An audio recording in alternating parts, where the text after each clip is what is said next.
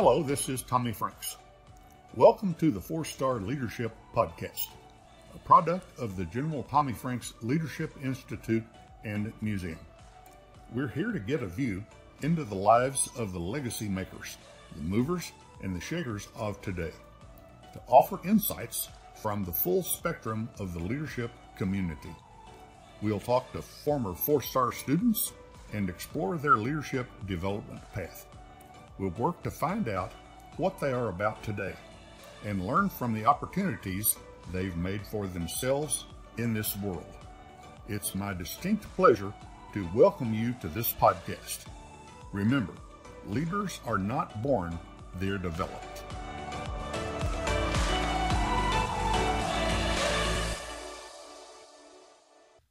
Hello, and welcome to the Core Principles of Leadership with General Tommy Franks. I am your host, Delise Travis. We're on episode number 26 with our guest, Mo Anderson, CEO, Keller Williams Realty. Mo will share how her foundation and experiences inspired her to achieve greatness. Her seven pillars from her book, A Joy Filled Life Lessons from a Tenant Farmer's Daughter, inspired her to achieve all that she dreamed of and more. An unending drive led her to greatness in real estate as CEO of Keller Williams. High standards, integrity, and philanthropy were her underlying foundation. Join us as she shares her inspirational story and encourages us to follow our dreams. Before we get into our program, we'll have a word from our major sponsor, REI Oklahoma.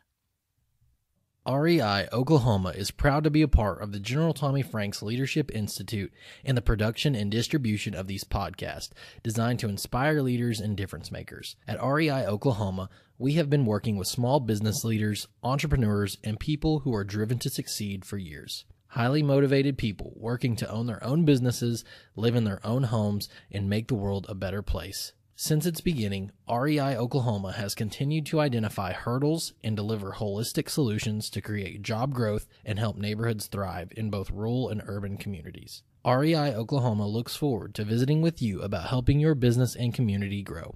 Visit reiok.org or call 800 658 2823 to start the conversation. The LaBar family is a fourth generation Oklahoma family. That may not sound like a long time, but our grandfathers were born here, within the Comanche Nation, before the land runs. We are the proudest sponsor of the Tommy Franks Four Star Leadership Podcast. We hope listeners will heed the words of these distinguished men and women who have served our country at the highest levels and across all walks of life. Mo Anderson joined Keller Williams Realty as president and CEO in 1995. She shepherded the company from 35 market centers to more than 530 within 10 years. Her personal integrity, high standards, compassion, and unending drive are touchstones that have made Keller Williams Realty one of the most successful franchises in real estate history. Known as the Velvet Hammer for her uncompromising values and standards, her astute business acumen and leadership abilities are uniquely matched by her faith and compassion. Mo has been recognized for her contribution to her industry and to the community on many occasions, such as America's Top 25 Influential Thought Leaders by Realtor Magazine, real estate's most influential people, inducted into the prestigious Hall of Leaders by the CRB Council, and featured in the Swanepoel Trends Report as one of the most influential women who have shattered the real estate management glass ceiling, just to name a few. She addressed MBA students at the Yale School of Management on two different occasions and has toured North America speaking about her book in a presentation called Seven Pillars of a Joy Filled Life, which encapsulates the lessons she learned over her lifetime. In every way, she is committed to her belief the higher purpose of business is to give, care, and share. And now let's join Mo. Welcome, Mo Anderson. We are so excited to have you on our program today. I'm thrilled to be here. Thank you for asking me. We have been so looking forward to this opportunity and so appreciative that you would set aside some time to visit with us and share your story with our leaders. So, what where we like to start, Mo, is and you have the most inspiring story is from the very beginning about who you are, where you started out life, and how you got to where you are today. And we'll, then we'll talk about some of our, our leadership principles, but I feel like those principles begin at the very beginning for you. And I loved your book, and I would love for you to share your story. Well, the book is still available on Amazon if if anyone is interested in it. It's called A Joy-Filled Life. Uh, I was born in 1937 on a farm near Ames, Oklahoma.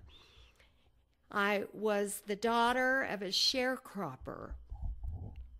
My parents came out of the Great Depression and they had me in the latter part of the depression depression in 37 and it was at the time of the uh, it was at the time of the dust bowl so i was born in the great De- at the end of the great depression and and during the dust bowl so you can imagine how my parents clawed and scraped and worked day and night to put food in our mouth and shoes on our feet.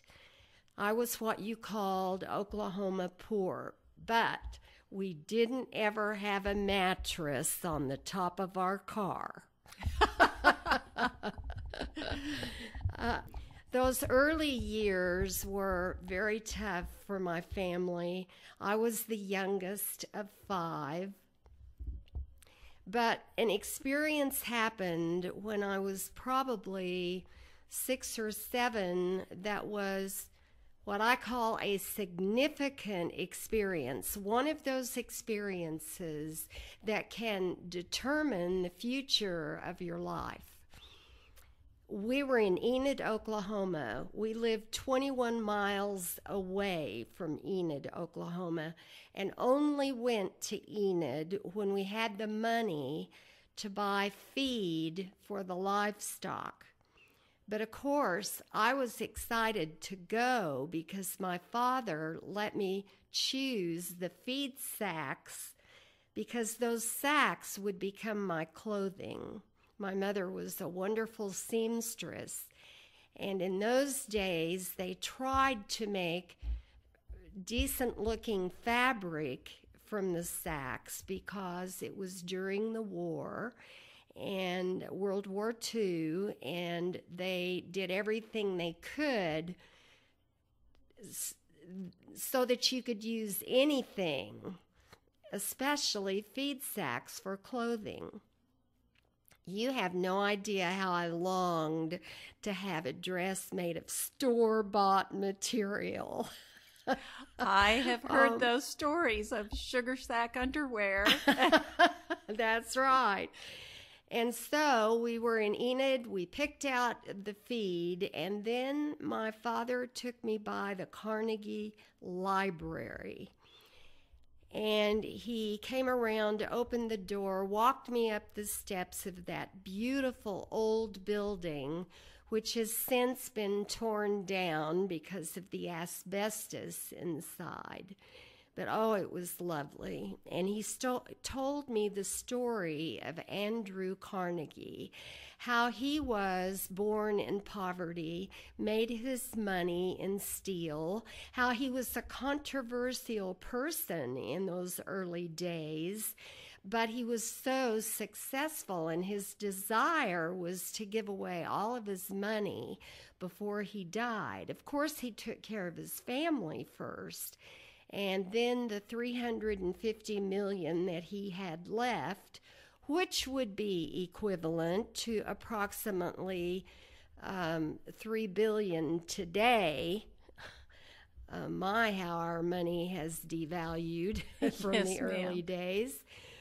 He wanted to give that all away before he died. He was elderly, he was ill, and he knew that he couldn't take it with him. So he devised a plan to install libraries in some of the smaller cities in America and in some of the smaller villages and hamlets, so to speak. He paid for the building to be built, he paid for the books, his money paid for the staff for the first year, and then at the end of a period of time, I believe it was a year, then the library was turned over to the city and it became property of the city. At the end of this wonderful story about a man who understood that the higher purpose of business is to give, share, and care, my father looked at me as a child and said, I always want you to respect the wealthy because the wealthy usually, not always, but they usually give back. Look what this man did, Carnegie, Mr. Carnegie. And that day was a significant day in my life because in that moment, as a child, I understood from my father that it was okay to make money. It was okay to respect the wealthy. And that if I ever had wealth, I got it clearly the message that I should think about giving it away. And Mo, that is a story in your book. Thank you so much for sharing that. That is a story in your book that resounds with me as well. That your parents, being two people of very meager, as you said, Oklahoma poor, means had the vision and the understanding that that could occur and should occur. To me, that was tremendous vision that he instilled in you at that time. Well, it showed that he didn't have prejudice against the wealthy. It showed that he respected the wealthy and what Carnegie did in Enid, Oklahoma, because we couldn't afford to buy books, but we could check them out from the library. He appreciated what Mr. Carnegie did. There's not the, the, the respect and the appreciation for wealth in our country today as there was back then. I agree. I, I that's why to me I think it was so important what he shared with you and how it resonated with you and how it made a huge effect later in your life, especially as far as um, our General Franks Leadership Institute and how much we appreciate uh, how you uh, give back to our program for developing young leaders. Um, going forward, I know that your mother also encouraged you to be a leader in school during your time in uh, grade school, middle school, and high school. That was an interesting experience. I came home from school one day on the bus, and she uh, greeted me with a piece of homemade lemon pie. So I knew she had a message for me. because I was always rewarded for good grades with food because that's the about the only thing she could give me. She was a great cook and we lived on a farm where we grew most most of our food or almost all of our food.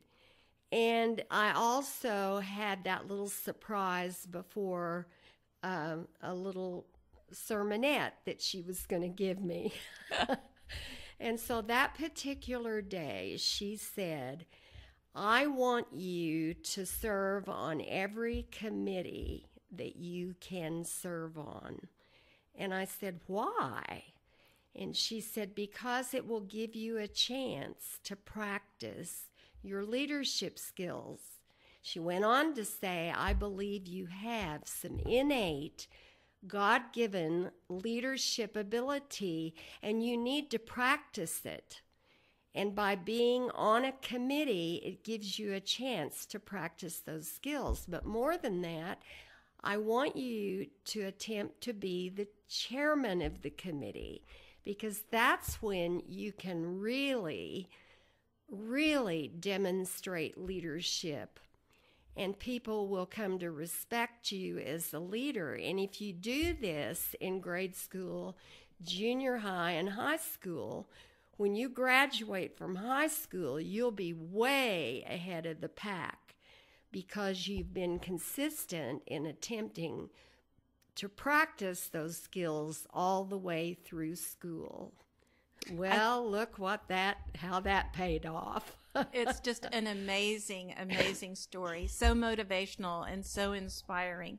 So, fast forward, you graduated from high school and you um, went to college. Well, we don't want to leave Richard out, he was there too. well, he was my high school mm-hmm. sweetheart. So, he went to the University of Oklahoma. Uh, because he was offered a full ride basketball scholarship and then I went to what was called back then Oklahoma College for Women, located in Chickasha, Oklahoma. It's now called USAO. Uh, and it's a liberal arts college in Chickasha, but it was a women's college when I attended. Let me back up and tell you why I went to Chickasha because it was a major, major tipping point in my life. Probably one of the greatest things that ever happened to me is when I was a junior in Waukomis, Oklahoma High School. The Women's Study Club of that community chose me to go to Girls State. It was held in Chickasha. I see.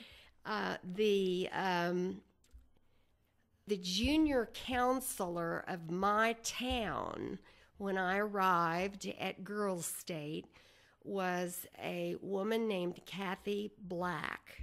She was a freshman at Oklahoma College for Women.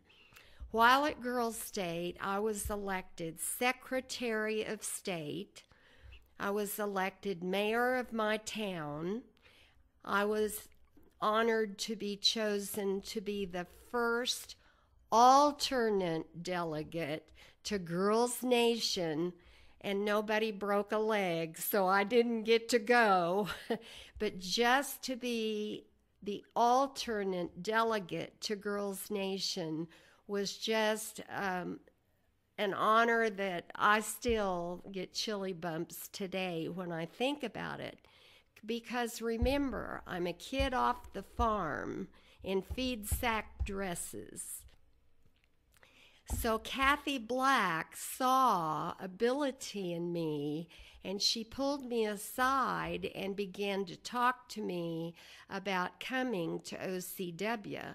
Well, I never thought I would even get to go to college because my parents didn't have the money to send me.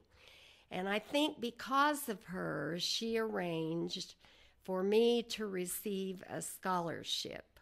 And that little scholarship was enough for me to pay my books and tuition and then the, the school helped me find a 30 hour a week job at a business in downtown Chickasha, which was enough for me to pay for my board and room at the university.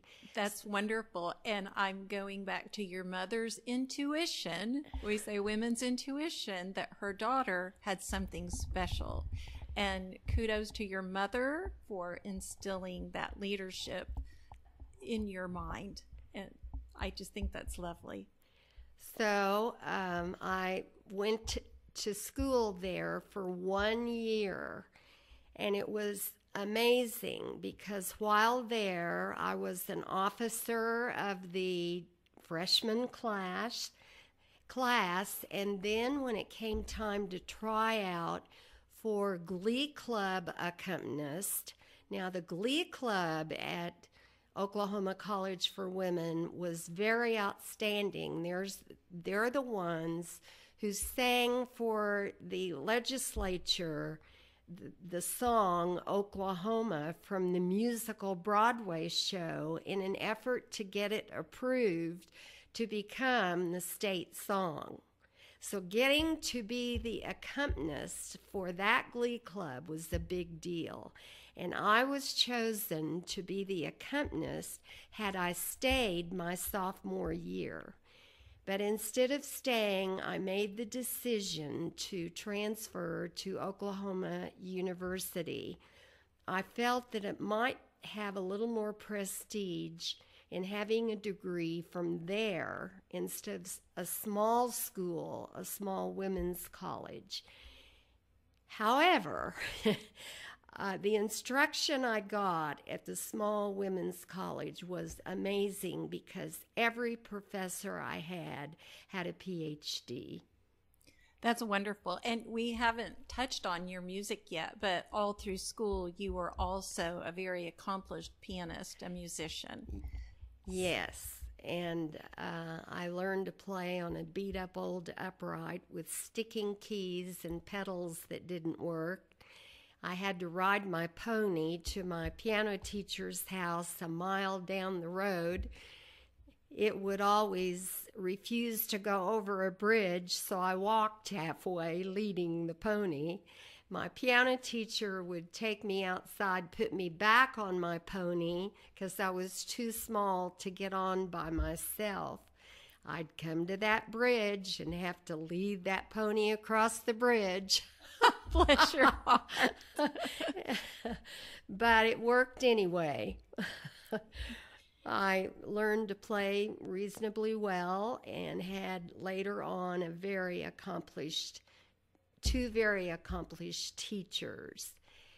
But I couldn't major in piano and music at OU why? Because the practice rooms were closed in the old days at 10 o'clock, and I didn't get off work until 9:30.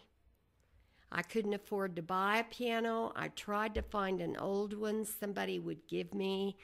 I was unable to accomplish that goal, so I reluctantly gave up my dream of being a public school music teacher and majored in elementary education. Much to my surprise, in my very first interview for a job after graduation, I was interviewed by Lester Goldsboro, principal of Traub Elementary School in Midwest City, Oklahoma. At the end of the interview, he looked at me and said, Would you be willing to become the music teacher at Traub Elementary and take on a fifth grade high achieving class for a portion of the day? Oh my. I nearly fainted and fell out of my chair. And I said, How did you know I had musical ability?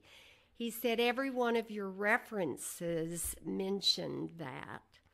So I had the joy of my dream coming true in spite of my circumstances. And the lesson I learned from that was when God puts a dream in your DNA, it's going to come true, regardless of your cir- circumstances if it's truly in your DNA. I believe that's true. Absolutely. So keep telling your story. So you you finally got to be a music teacher and but you were having to stay one step ahead of this high achieving class for education and I bet that kept you extremely busy. And I taught at Traub for 2 years then Richard accepted a position at Conoco Oil Company in Ponca City. And there I applied to teach, and they assigned me to teach um, sixth, fifth, and sixth grade at McKinley School. And then I became pregnant with my second child with Karen, and I stopped teaching public school, taught privately piano lessons, and then the music director of the music department in the Ponca City school system approached me and asked me if I would be willing to teach music at at um, Jefferson Elementary School. I said yes so fast. And I think Karen was four years old at the time, if I remember correctly. So I taught there a number of years. And it was a group of students on the other side of the tracks. They, most of them, not all of them, but most of them came from poverty families, families living in poverty. So I knew all about that. Yes. And I wouldn't give them an inch because they were poor, because I grew up that way and I understood them better than they understood themselves. Absolutely. And I had, high, high standards in my classroom. I met with every parent and explained to the parents I was going to expect a lot out of their children because I wanted those children of poverty to experience what it felt like to do something really well. You would not believe what happened. The high school students heard about our fourth, fifth, and sixth grade choir. They came to every concert we had. People from around the city came because we had established a reputation of having fabulous concerts.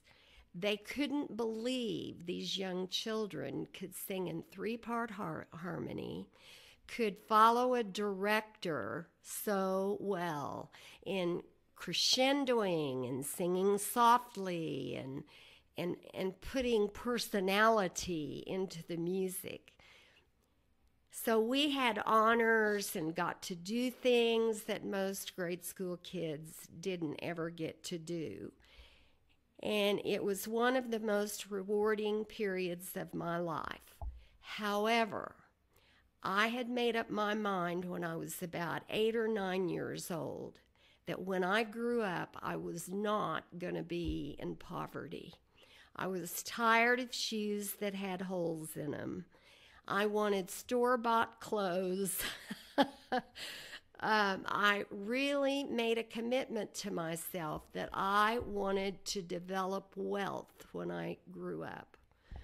And I discovered after three or four years of teaching that I would never, ever make more money than I needed because I wanted to make more than I needed so I could give it away. I'd never been able to buy a friend a birthday present. I'd never been able to buy my parents a Christmas present. If I gave presents, they were all homemade some way. And I really wanted that a little bit more money than I needed so I could do these things that I dreamed about doing.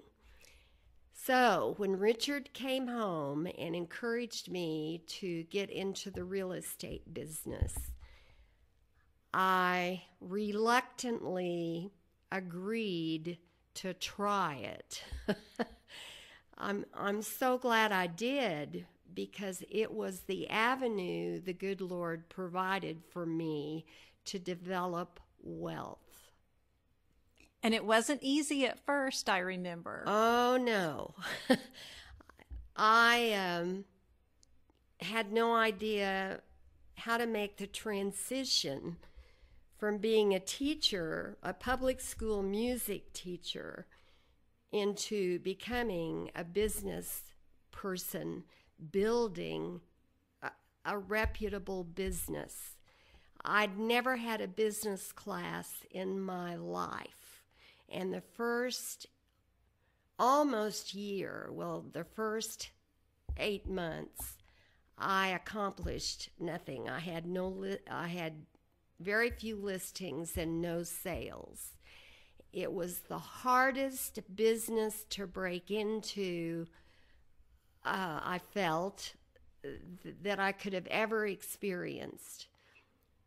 But some kind of miraculous things happened, and the the next six months, starting in September of that year, for the next six months, I sold 35 homes, which means if I'd done that well for a full year, I would have sold 70 homes. And I got my feet planted on the ground, and then I realized that what my real desire was to, was to help other people succeed. So we started a company after we moved to Edmond, Oklahoma.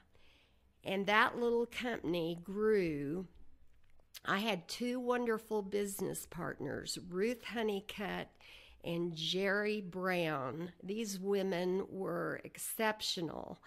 And they listed and sold, and I played the role of the manager of this office. And of course, they helped me recruit. But long story short, that little office in Edmond, Oklahoma became the number three office out of 7,500 offices in the Century 21 franchise system in the U.S. and Canada. That's amazing. And I knew then I was functioning in my gifting. And uh, then I got my broker's license because, see, they one of them had to be the broker because I didn't even have a broker's license. And then um, we later sold our company to Merrill Lynch Realty when they opened a real estate division.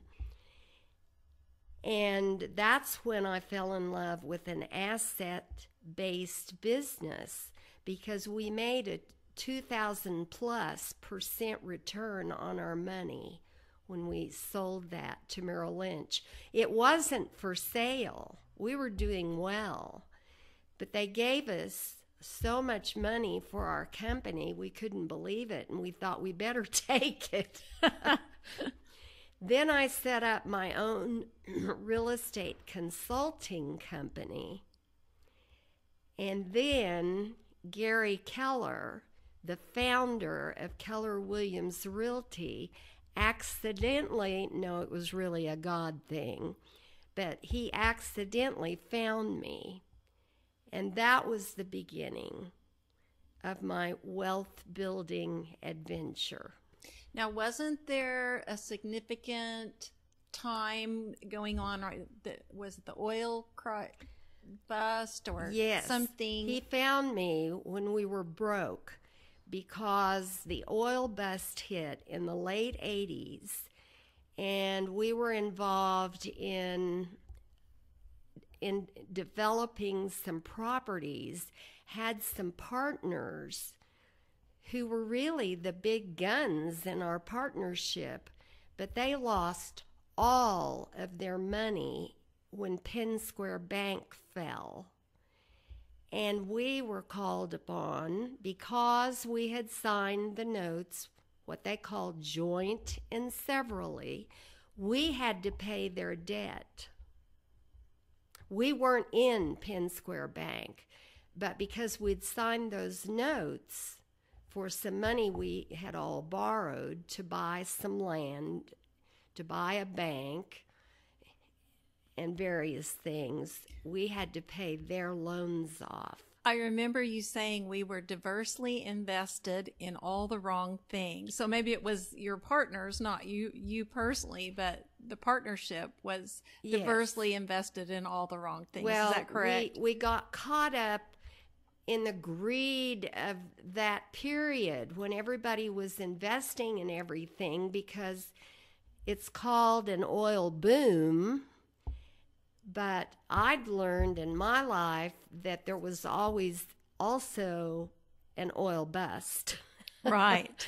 and it happened in the late 80s, and it was devastating to the Oklahoma economy. This is when I when Gary found me and when we talked about me developing a Keller Williams region, I told him, Gary, I don't have any money. We lost it all in the downturn of the economy. We almost went bankrupt but didn't because my daddy taught me that no matter what, you pay your debts. And so we talked to the people we owed money to when we ran out paying everybody's debts. Would they hang with us? And I remember I had made a pledge to the Edmond Educational Foundation and I'd paid half of it, but I still owed half and couldn't pay it. And I want you to know that at the end of 10 years, I paid that debt off. And the newspaper owner, Ed Livermore, wrote an article about us paying that off and how much he respected and admired that because most people who still owed the Educational Foundation just said we can't pay, period. And this was a value I remember that you learned from your father going through that very destitute time that he always paid his debts no matter how how difficult it was. Well, he took jobs troweling cement, smoothing cement. That is one of the most back-breaking jobs in the world. And he was really, really good at it. So the three years in a row that he lost his wheat crop to tornadoes and hailstorms, he took troweling jobs. He had a reputation in the community around Enid that he was really good at that. He nearly lost his back doing it. But any year we didn't have enough money from our crop to make it, guess what he would do? And this is absolutely something that you learned as a value that your father instilled in you as a young girl always pay your debt. So here you he are. He wouldn't let us take government assistance because even back then you could get free butter and free cheese. And my brother came home one day because he had learned at school you could get that. And he said, Dad, why don't we go get free cheese and free butter? And he said, We are not taking any government assistance. We are going to learn to pay our bills and pay our debts from our own initiative not from getting help from the government. Besides, your mom makes the best cheese in the world and she can and you have been churning the butter for years. You'll keep churning.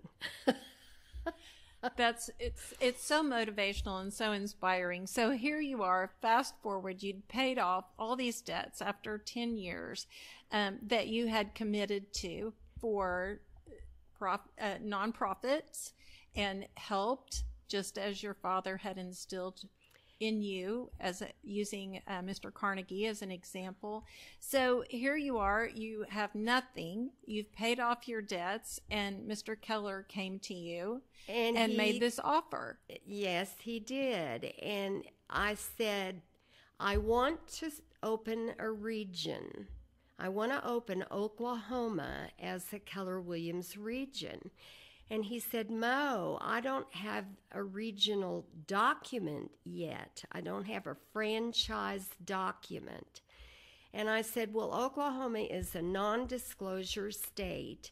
And all you have to do to let me open these offices in Oklahoma is give me a written letter and tell me that I may use your systems in Oklahoma.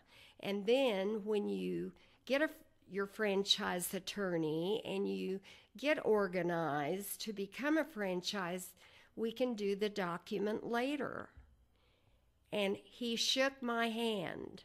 And as we went into business together on a handshake, and I said to him, Now, my daddy taught me that a handshake is more precious than a contract.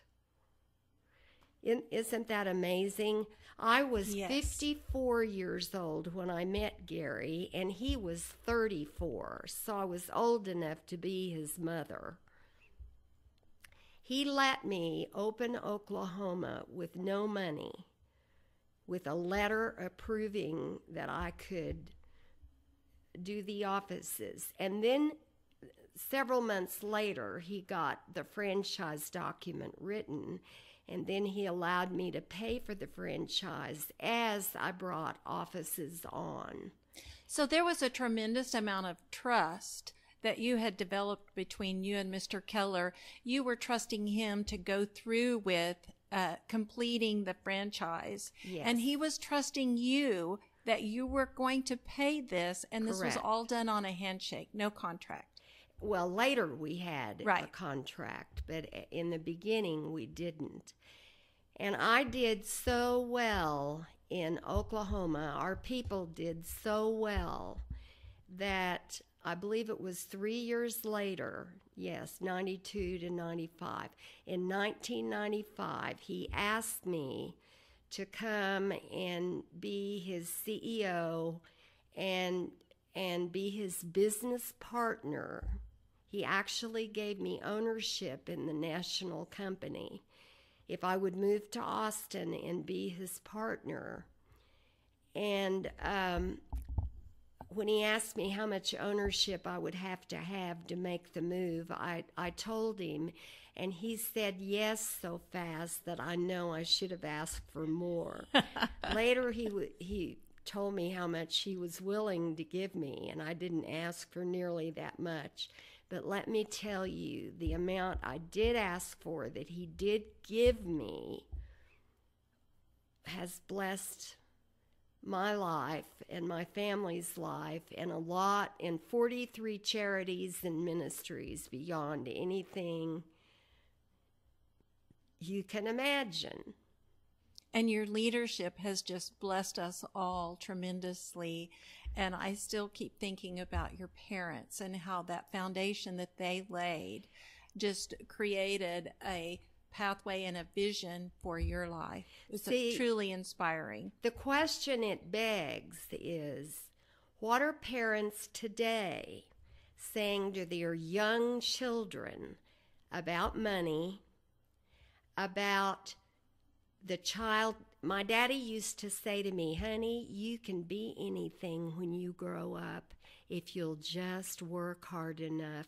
I wish he would have said, honey, you can be anything you want to be if you will work smart. Because there's a big difference in working smart and working hard. Do you get my point? I absolutely do work smarter, not harder. And I'm just thinking, if you don't, I don't mean to go down um, a rabbit trail, but I'm thinking about the work ethic that you instilled in those fifth graders in when you were teaching music. I'm, I'm just wondering, so many people will say, well, I had this teacher that really, you know, inspired had me and high motivated. standards. Yes. And, and I told him I will not accept mediocrity. Right. I will only accept excellence. And that means we may have to sing a phrase over for 50 times before we get the sound that I want, before we get the excellence that you're capable of giving me. And we won't know, uh, probably, but I'm just wondering how amazing the amazing inspiration that was to some of those students and what they did because of that seed that you planted in their lives as a low income child during that time, you know, in that time in their life. How wonderful was that? Well, So- I still hear from them. I bet. Let's pause for just a moment to hear from one of our great sponsors. Hello, this is Jay Zacharias with the General Tommy Franks Leadership Institute and Museum, and I would like to tell you about one of our partner sponsors. His name is Justin Krieger, and he has worked as an independent insurance agent at Krieger Insurance Agency in his hometown of Hobart, Oklahoma since 1999. Justin is honored to help with the annual Celebration of Freedom event and has been a board member for the General Tommy Franks Leadership Institute and Museum for many years. He is also a fifth generation farmer and rancher in Kiowa County, where cattle, crops, and even insurance is sold with a handshake. Give him a call at 580 726 3076 or come by the office if you would like to speak with Justin Krieger or Kathy Lankford about insurance. We are thankful to our customers and friends who have supported us through the years. Again, Justin would like to say how honored he is to live in such a great country and how proud he is to help sponsor these podcasts. Please enjoy the rest of this podcast experience from your friends at Krieger Insurance Agency. Now let's get back to our episode. So I, I didn't mean, like I said, to go down a rabbit trail, but so here you are, and you are developing this franchise with Mr. Keller and you've created this leadership culture in your well, when he asked me if I would move and be his CEO and be his business partner, I said, Be your CEO. I've never had a business class in my life, and I don't know how to be a CEO. And he said, Yeah, I think you do know how because you were the CEO of the Oklahoma region and it has flourished. So, can you imagine? By the time I he asked me to be CEO, I was 57. I'm a woman. I'd never had a business class. And he knew he wanted me to fill that position. I was helping him find a CEO. I brought some people to the table. And he said, No, I want you.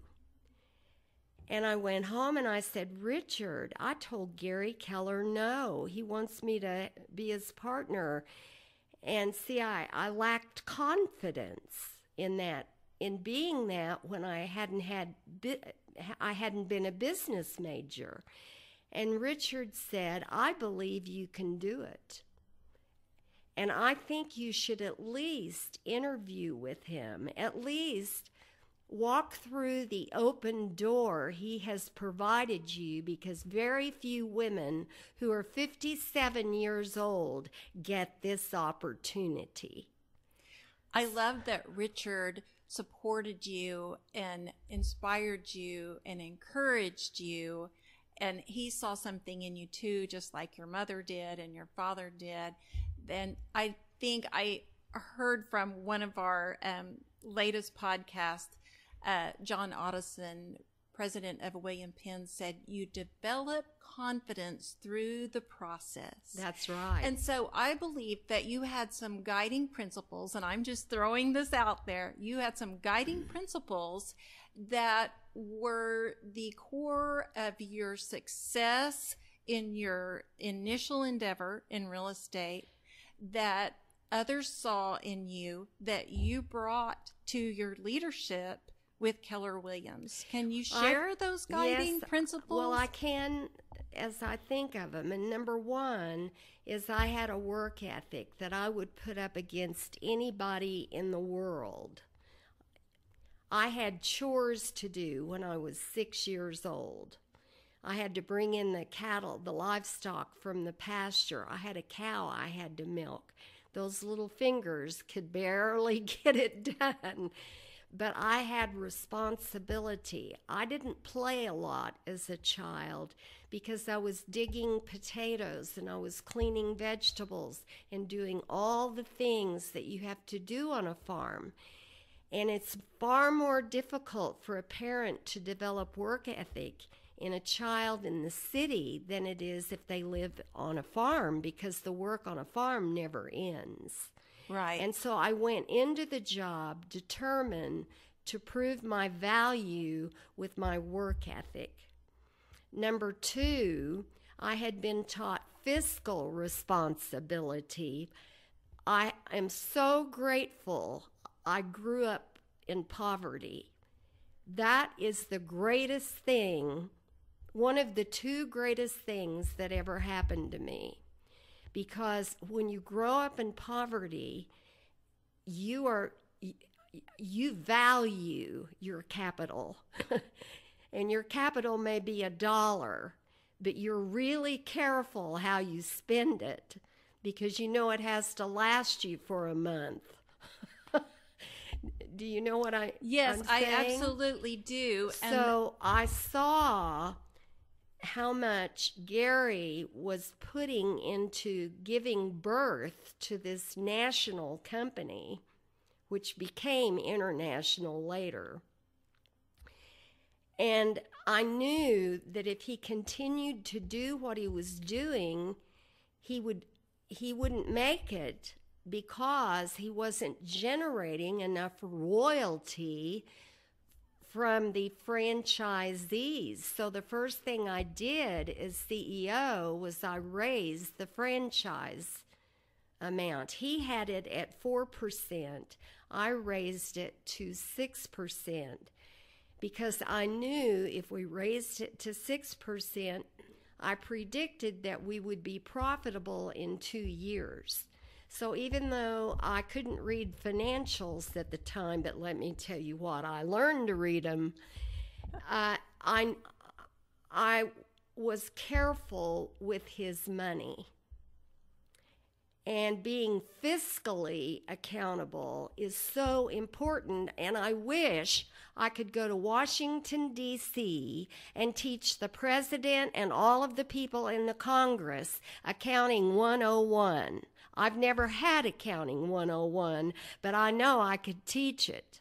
I know you could too. And I'm so frustrated because they don't understand as they kick the can down the road and they don't pay off the national debt, how absolutely devastating that will be at some point in time. Now, enough of that. Yes. uh, I would say the second or the third thing that was important is I believe that one of the most important things that leaders forget is the importance of, developing and growing their faith. Because your faith is where you reach your values and your values are what cause you to make decisions and when you really know what you believe and I've just demonstrated to you by talking about the government Yes, what I ma'am. believe. uh, when you really know what you believe, it makes very difficult sit decisions easier to make because you base those decisions on the values you have as an individuals. And you don't get values unless you have a faith, whatever it is and you develop that faith. Mine happens to be based on Christianity because I am a follower of Christ. So my values are based on biblical principles.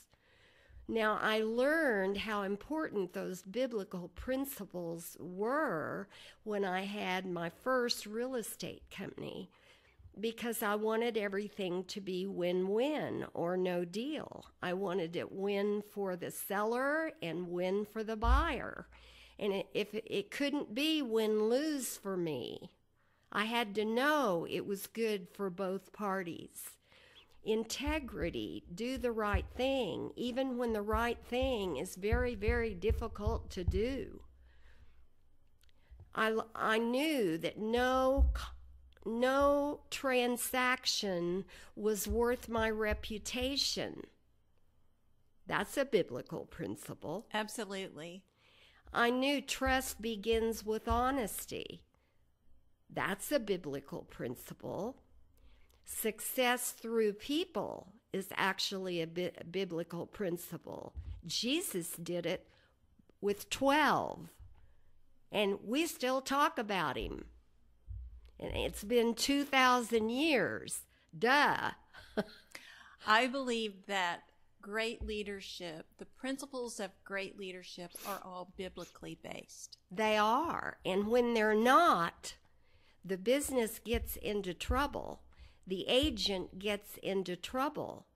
And you have to be careful when you recruit people to a, a, a an important position in your organization or you recruit an agent that they are a match for you according to your principles. For example, one of the most important values that Keller Williams that we have in our company is it's God, it's God and family first and and your business second. Well, when I used to go to Yale University to talk to the MBA students, they would say, Doesn't that value statement hurt you? Doesn't that cause damage to your company? And I would say, I can't believe an Oklahoma farm girl is going to be able to teach you something because you're at Yale. I'm shocked. But get your pencils and paper out and write this sucker down. That values statement is a magnet that attracts like minded people. People, no matter what their faith is, if they put their faith first, their family second, and the business third, or I say it, your faith and your family first and the business second, we know they're a match. We aren't the same religion because we're a secular company. We're not the same color. We're not from the same country. We have different political views. We're different in every single way, but that way. And see, you when you have like-minded people who buy into the purpose or mission of your company, you have a power that causes you to be productive and to grow during a downturn, downturn in the economy. Because Stanford University couldn't figure out why we always grew when the market got bad and everybody else went down. One of General Franks' core principles of leadership is caring, and we've we've covered a lot of those principles in your discussion. But I know that you created, when you said it had to be win win, it was a culture of caring, both for members of your team and for your customer. And can you share with us how you created that culture within your team? Well, because the higher purpose of business is to give, share, and care. And so, if you operate on that principle, then naturally you're going to build a philanthropic model for your company. We built KW Cares. I see. That's a good name for it. Yes. And if every church, business, um, community uh, club or group had this philanthropic model, there would be no need for welfare. And what KW Cares does is everybody within the company gives to KW Cares. We teach the principle of tithing.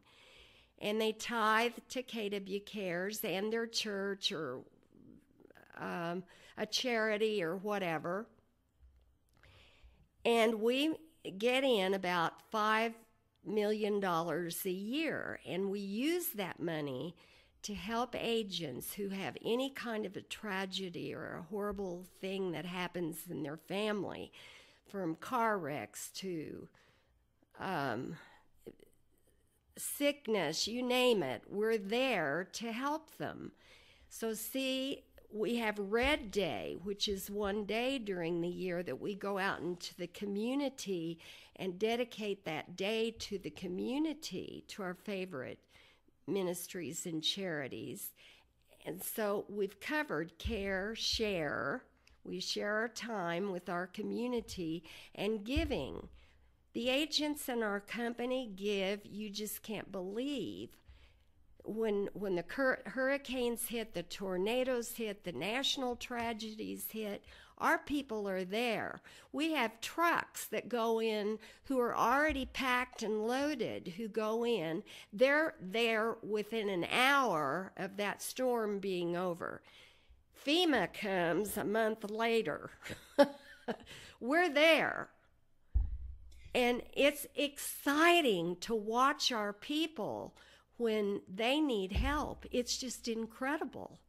And I think it's so incredible. I keep going back to this, but if your father had only known, uh, uh, obviously had great vision, but that day on the steps of the Carnegie Library, what he had created is absolutely astonishing. We are the largest real estate franchise company in the world. We do more production than any other real estate franchise company in the world. If you would have told me as a child that I would grow up someday and have a part in building uh, a, the largest franchise company in the world who has the most unique culture in the world, I would have told you you were crazy. See, God's plan for your life is a whole lot more exciting than your plan for your life. Absolutely. And I, it's just every time I hear it, every time I think of it and know your story, I'm just astonished and amazed and I'm so impressed and I I just can't tell you enough. See, Thank we so much. the way you build culture in a secular company is you have a foundational piece of the culture. And of course, it's the mission statement. The mission statement in our company is because a mission statement describes the purpose of your company. Correct.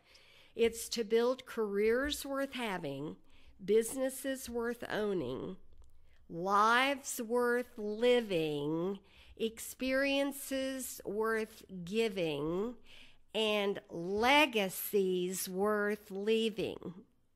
Now, if we honestly do that, see, we have a class that teaches our people a life worth living. It's called Quantum Leap.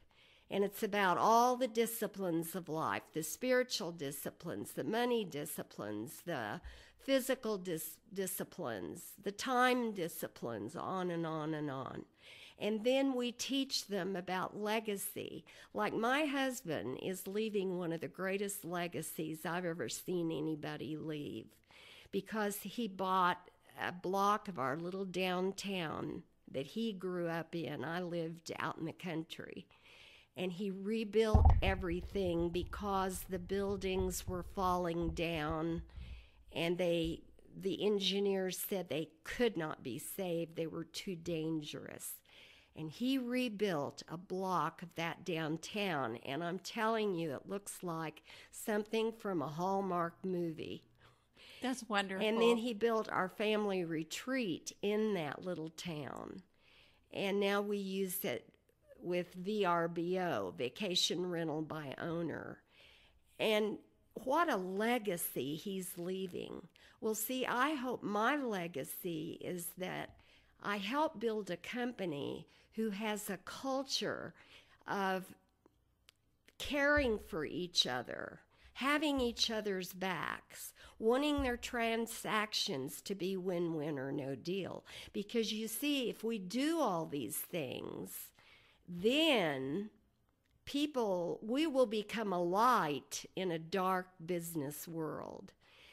And our vision is that people will choose us. That's our vision. Well, I guess they are because we have nearly 190,000 people in our company.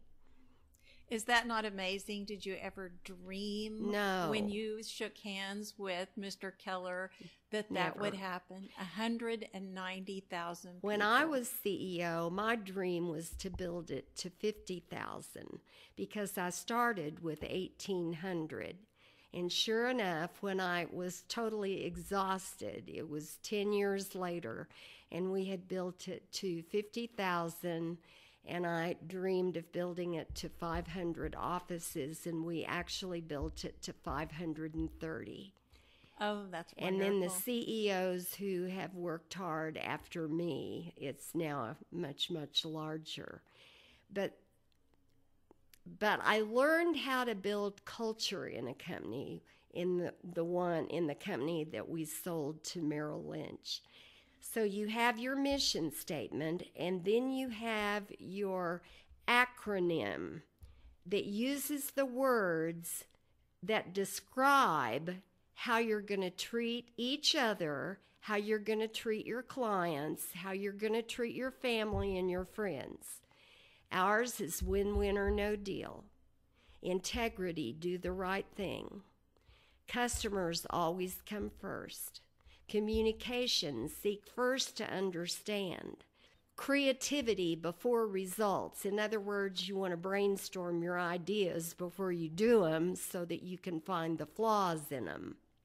yes, ma'am. And then communication. I've already said communication. The other one is commitment in all things. If you commit to go to your child's soccer game, you go. If you commit to return phone calls in three hours, return phone calls in three hours. And then trust begins with honesty, teamwork. Together, everyone achieves more, and success through people. Because no one achieves alone. No one ever achieves alone. So when you have your acronym, uh, we call ours the Y, four C's, two T's, then that's your foundational piece that you're going to build your culture for, off of because the people need to know what the predetermined way is that we're going to treat each other and our clients and customers. And then, of course, you build culture by telling the stories when you see these glorious things happen. Mo, were there any specific challenges that you would like to share with our listeners? Uh, specific, really difficult things that you got through and how you got through it? Well, I actually have two. The first one is very interesting. I w- received a telephone call from a loan originator who was originating loans in one of our market centers. It was a market center that was highly profitable. She informed me that the owner of that market center was sending her pornography through our servers. Wow. Now, what do you do with that?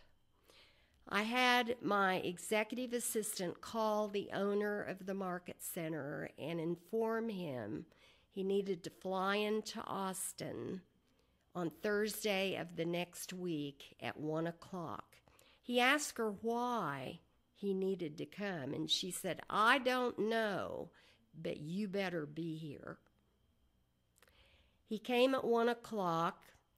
The first person who visited with him was our president. He put him in his office, had his had our tech people come in and made him look at the pornography he had sent her.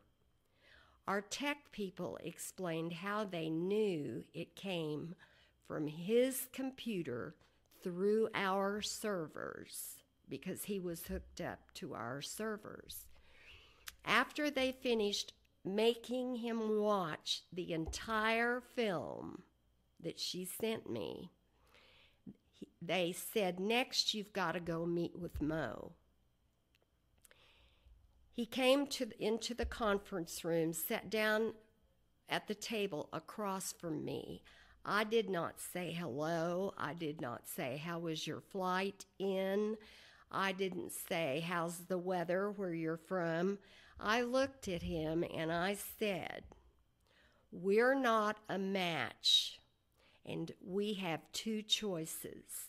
One, we can fight this in court together, or against each other, rather or you can sell your market center in 30 days to someone that our president would approve.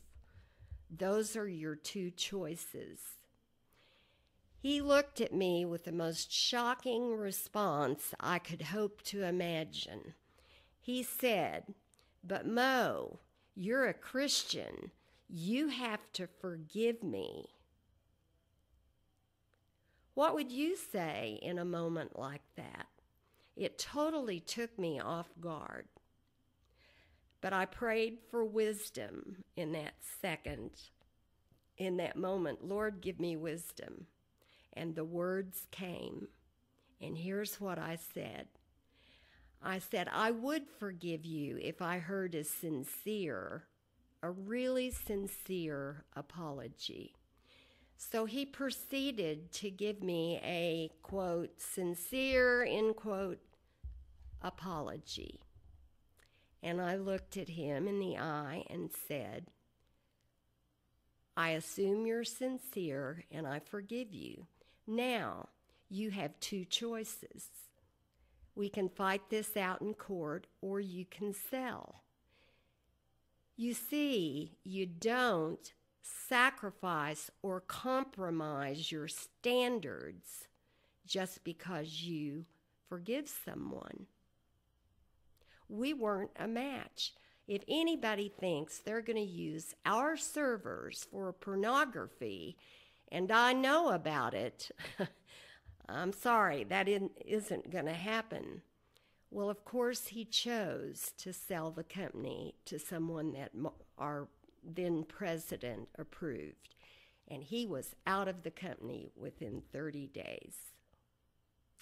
One of our most profitable offices. Forgiveness and accepting behavior are two separate things. That's exactly right. He thought forgiveness meant forgiving the problem and it not having any repercussions or consequences. That's a that's a wonderful story.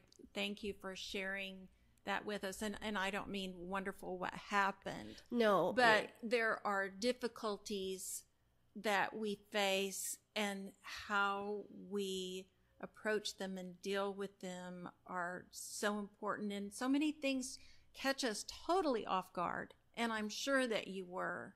And I I appreciate you sharing that because that's a difficult story to share. You said there were two things. Did you have a second story? Yes. The second one, I was speaking to a group of young adults, ages 20 to 40. And they had asked me to come and speak to their group about how I achieved at a high level. How did that happen? So they also asked me to tell my story. So I began with telling my story, much as I've done today, as you asked me to do. And then I told them that I believed the reason why I was able to accomplish quite a lot was because of the work ethic I had.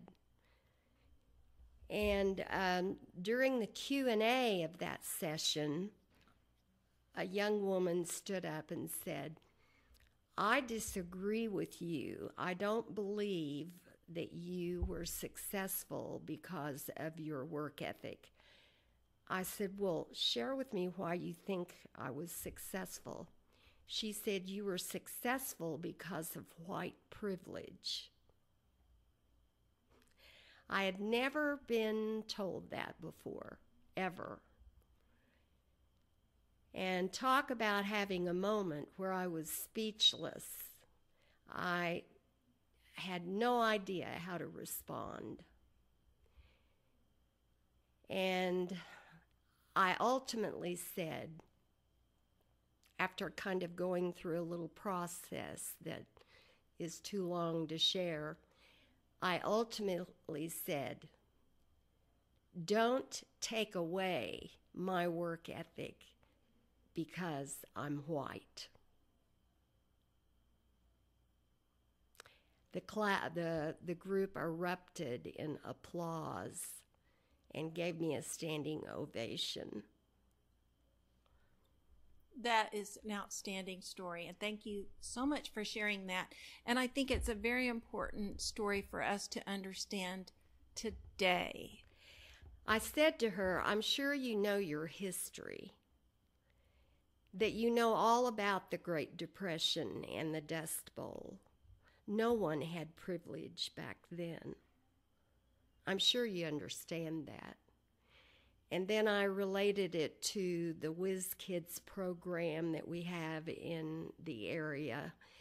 And did you do you agree? Do you do you know about Whiz Kids? And she said yes.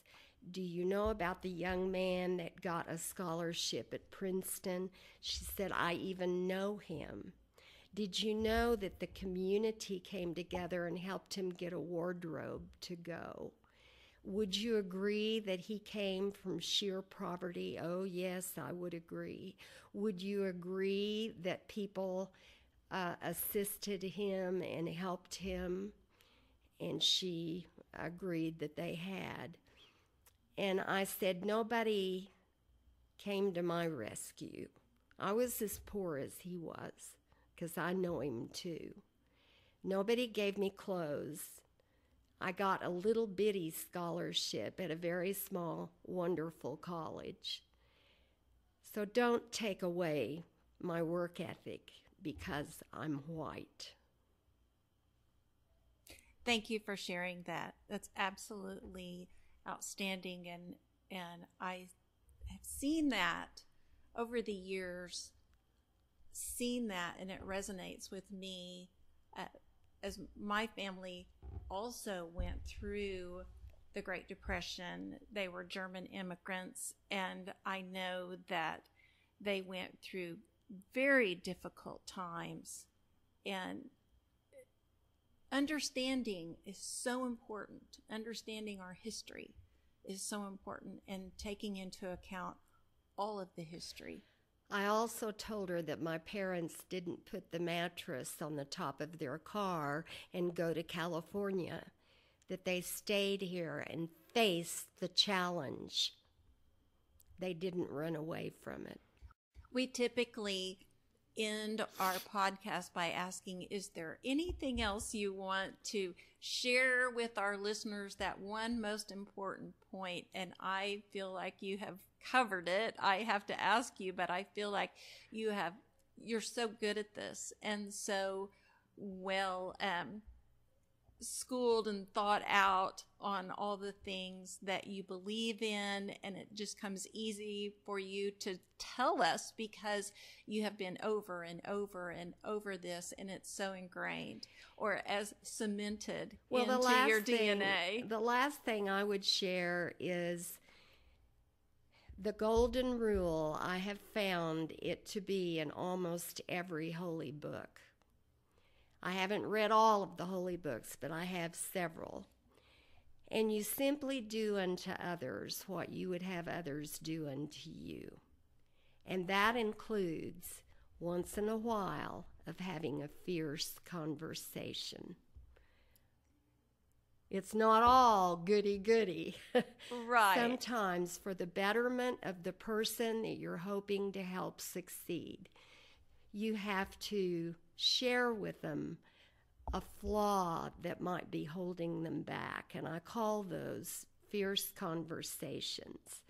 Simply treat everyone. I always expected Gary to tell me when I was making a mistake in his eyes because he's such a visionary genius. He was the very visionary genius. I was the implementer. And he would. He helped me grow. And it's easy if you treat people with kindness and love, and yet you share with them what they need to hear, not just what they want to hear.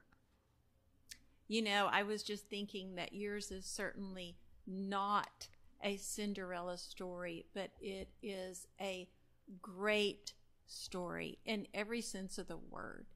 Every sense of the word is a great story. And there's lots of other ways to describe it, but I don't know how else you could could describe it is it has everything. It has motivation, it has inspiration, it has discipline, accountability, all of the things, integrity, work ethic, character, all of those things. And I appreciate you so much in sharing this story with our listeners. And I know that